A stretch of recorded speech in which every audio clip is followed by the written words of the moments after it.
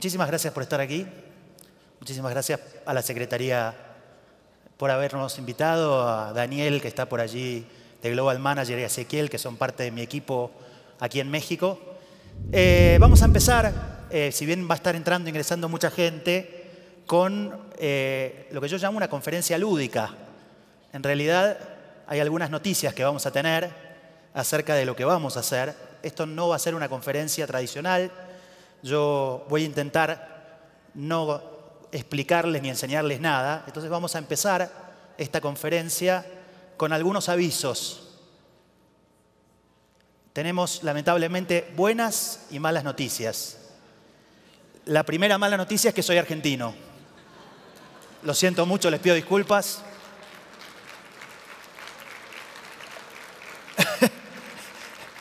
Hay una buena noticia. ¿Saben cómo se suicida un argentino?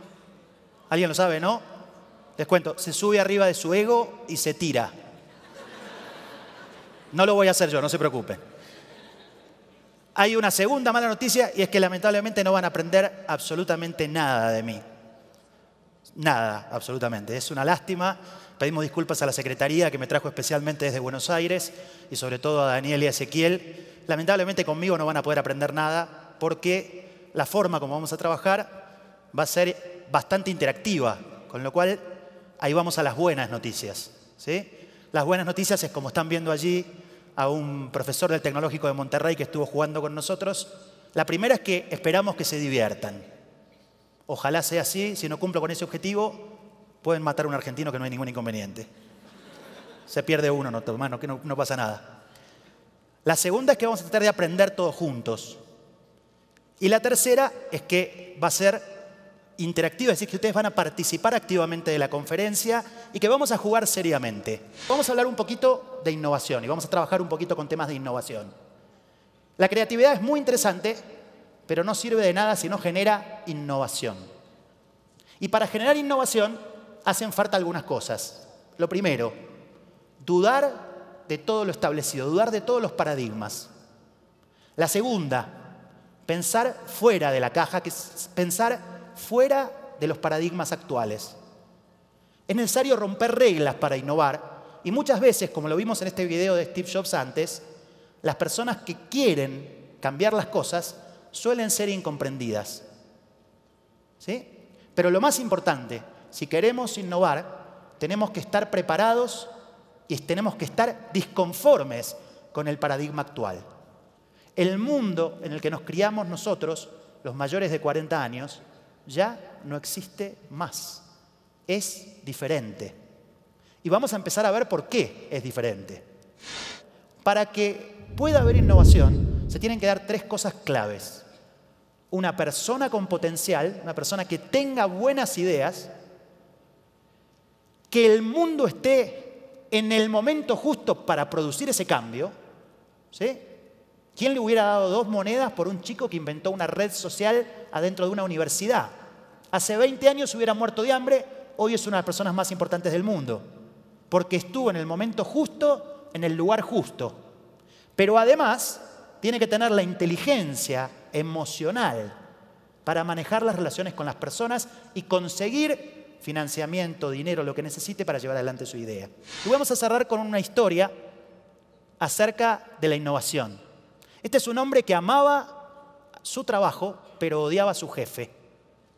Era un hombre muy agradable, le gustaba el lugar donde estaba, trabajaba con sus compañeros, ganaba muy bien, pero tenía un gran problema.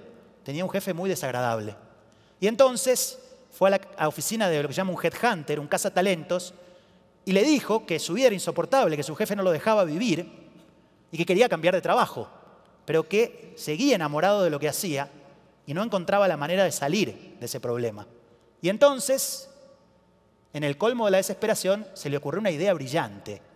Volvió a la agencia del cazatalentos, del headhunter, y le entregó el currículum de su jefe al de la agencia. Y el, el hombre de la agencia de empleos le consiguió un trabajo mejor a su jefe, que su jefe aceptó, y entonces él se quedó en su trabajo y al tiempo lo ascendieron a jefe. Esta es una idea acerca de romper reglas, una historia acerca de la innovación y acerca de la creatividad. Tenemos que pensar de manera diferente. Tenemos que darnos la oportunidad de jugar más. Hace un par de años conocí a una mujer en Estados Unidos que dijo que para hacer cosas extraordinarias, para que personas comunes como ustedes y yo podamos hacer cosas extraordinarias, se necesitan tres cosas. Pasión, visión y acción. La pasión es la fuente de la energía y la creatividad. La visión es la capacidad de imaginar hacia dónde vamos, qué queremos lograr, qué queremos hacer. Pero además hay que actuar. Y la acción es todo lo que está relacionado con la creatividad y sobre todo con la pasión.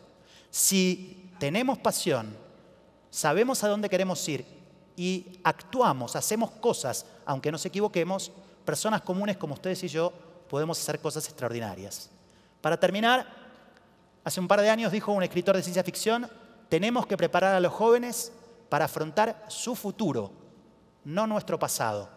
Su futuro es totalmente diferente, pero lo más importante la era de la información, que es la que estamos viviendo, precisa de jugadores autónomos mucho más que de trabajadores desmoralizados. Ser un jugador es abrazar el futuro. Ser un trabajador es defenderse de ese futuro. Les agradezco muchísimo su tiempo y la participación que han tenido. Un aplauso para ustedes.